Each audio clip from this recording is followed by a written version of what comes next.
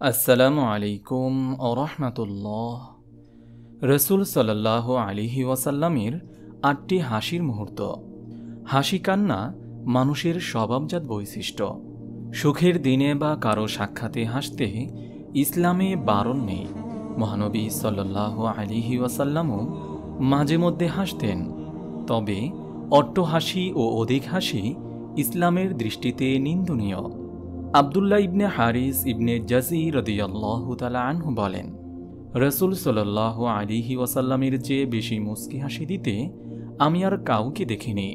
তিরমিজি, হাদিস নম্বর তিন হাজার ছয়শো একচল্লিশ। আজকে আমরা প্রিয়নবী সাল্লাহ আলিহি ওয়াসাল্লামের হাসি সম্পর্কিত আটটি ঘটনা এই ভিডিওতে তুলে ধরার চেষ্টা করব, ইনশাআল্লাহ। তা হল নম্বর এক, সুরা কাউসার অবতীর্ণ হলে আনাসিবনে মালিক রদিয়াল্লাহ আনহু বলেন, একবার আমরা রসুল সাল্লাহ আলিহি ওয়াসাল্লামের মজলিসে উপস্থিত ছিলাম। হঠাৎ তার ওপর অচৈতন্য ভাব চেপে বসল। অতপর তিনি মুস্কি হেসে মাথা তুললেন। আমরা বললাম, হে আল্লাহর রসুল, আপনার হাসির কারণ কি? তিনি বলেন, এমাত্র আমার উপর একটি সুরা অবতীর্ণ হয়েছে এবং তিনি সুরা কাউসার পাঠ করেন। সহি মুসলিম, হাদিস নম্বর সাতশো আশি।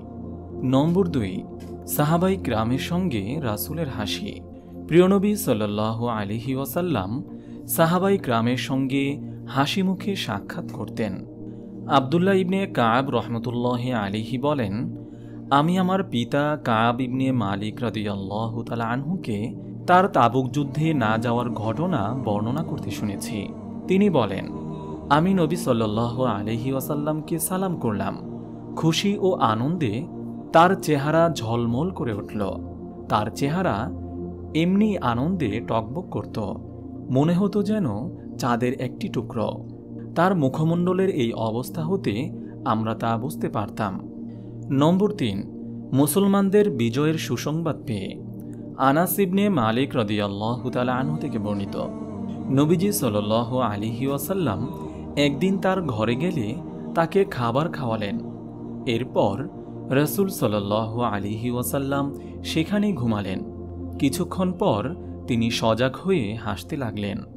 তিনি জিজ্ঞেস করলেন, হে আল্লাহ রসুল সাল্লাহ আলিহি ওয়াসাল্লাম, আপনাকে কিসে হাসাচ্ছে? তিনি বলেন, স্বপ্নে আমাকে আমার উম্মতের আল্লাহর পথে জিহাদকারী কিছু সংখ্যক মুজাহিদ দেখানো হয়েছে। যারা এই বিস্তীর্ণ সমুদ্রের মধ্যে বাদশাদের মতো সিংহাসনে আসীন। সহিবুখারি হাদিস নম্বর ছয় হাজার দুইশো বিরাশি। নম্বর চার, এক ইহুদির কথা শুনে। আবু সাঈদ খুদ্রি রদি আল্লাহ তালা আনহু থেকে বর্ণিত। নবীজি সাল্লাহ আলহি ওয়াসাল্লাম বলেছেন, কেয়ামতের দিন সারা জগৎ একটি রুটি হয়ে যাবে। আর আল্লাহ তালা জান্নাতিদের মেহমানদারির জন্য তাকে হাতের মধ্যে নিয়ে এমনভাবে উল্টাপাল্টা করবেন যেমন, তোমাদের মধ্যে কেউ সফরের সময় তাড়াহুড়ো করে এ হাতে সে হাতে নিয়ে রুটি প্রস্তুত করে। এমন সময় এক ইহুদি এসে বলল, হে আবুল কাসেম, দয়াময় আপনার উপর বরকত প্রদান করুন। কেয়ামতের দিন জান্নাতবাসীদের মেহমানদারি সম্পর্কে আপনাকে কি জানাব না? তিনি বলেন হ্যাঁ। লোকটি বলল, সেদিন দুনিয়াটা একটি রুটি হয়ে যাবে। যেমন নবীজি সাল আলিহি ওয়াসাল্লাম বলেছিলেন, লোকটিও তেমনই বলল। তখন নবীজি সাল আলিহি ওয়াসাল্লাম আমাদের দিকে তাকালেন এবং হাসলেন, এমনকি তার চোয়ালের দাঁতগুলো প্রকাশিত হল। সোহিবুখারি হাদিস নম্বর ছয় হাজার পাঁচশো বিশ। নম্বর পাঁচ, সাহাবির সরলতা দেখে। আবদুল্লাহ ইবনে মুগাফল রদিয়াল্লাহ আনহু বলেন, আমি খাইবার যুদ্ধের সময় চর্বি ভর্তি একটি চামড়ার থলে পেলাম। আমি তা তুলে নিলাম এবং বললাম, এর থেকে আমি কাউকে কিছু দিব না। তিনি বলেন, আমি হঠাৎ পেছনে ফিরে রসুল সাল আলিহি ওয়াসাল্লামকে দেখতে পেলাম। আমার কথা শুনে তিনি মৃদু হাসলেন। সোহে মুসলিম, হাদিস নম্বর চার হাজার চারশো ছিয়ানব্বই। নম্বর ছয়, শিশু খাদেমের সঙ্গে। আনাস তালা আনু থেকে বর্ণিত একটি হাদিসে আছে রসুল সাল্লাহ আলিহি ওসাল্লাম একবার তাকে কোনো এক কাজে পাঠিয়েছিলেন। কিন্তু তিনি পথে বাজারে খেলাধুলারত বালকদের সঙ্গে খেলায় লিপ্ত হয়ে যান। হঠাৎ পিছন দিক থেকে রসুল সাল্লাহ আলিহি ওয়াসাল্লাম এসে তার ঘাড়ে হাত রাখেন।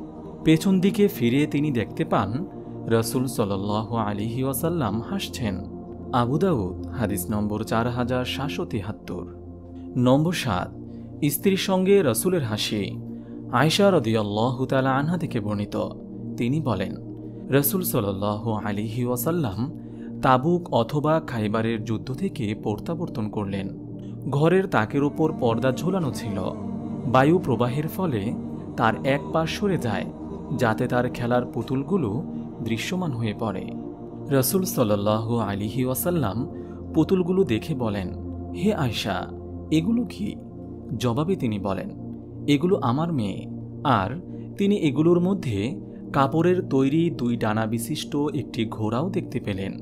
তিনি প্রশ্ন করলেন, এগুলোর মধ্যে ওটা কি দেখতে পাচ্ছি? তিনি বলেন, ঘোড়া। রসুল সাল আলিহি ওসাল্লাম বলেন, তার উপর আবার ওটা কি? তিনি বলেন, দুটি পাখা। রসুল সাল আলিহি ওয়াসাল্লাম বলেন, এ আবার কেমন ঘোড়া? যার পাখা আছে? আমি বললাম আপনি কি শোনেননি যে সুলাইমান আলি সাল্লামের ঘোড়ার কয়েকটি পাখা ছিল? আয়সা রদিয়াল্লাহতালা আনহা বলেন, এ কথা শুনে রসুল সাল আলিহি ওয়াসাল্লাম হেসে দিলেন, যাতে আমি তার সামনের শাড়ির দাঁত দেখতে পেলাম। আবু দাউদ, হাদিস নম্বর চার হাজার নয়শো বত্রিশ। নম্বর আট, ইন্তেকালের দিন রসুল সাল আলিহি ওসাল্লামের হাসি। আনাসিবনে মালিক রদি আল্লাহ আনহু থেকে বর্ণিত। মুসলমানরা সোমবার রসুল সাল আলিহি ওয়াসাল্লামের অফাতের দিন ফজরের নামাজে ছিলেন। আবু বকর রদি আল্লাহ আনহু তাদের নিয়ে সালাত আদায় করছিলেন। নবীজি সাল আলিহি ওয়াসাল্লাম আয়সা রদি আল্লাহ আনহার হুজরার পর্দা সরিয়ে তাদের দিকে তাকালেন। তখন তারা সারিবদ্ধ ছিলেন। তা দেখে তিনি মৃদু হাসলেন। সোহাইবুখারি হাদিস নম্বর এক হাজার দুইশো পাঁচ। আপনি যদি এরকম ভিডিও আরও পেতে চান, তাহলে এই চ্যানেলটি সাবস্ক্রাইব করে পাশে রাখা বেল আইকনটি অন করে দিন।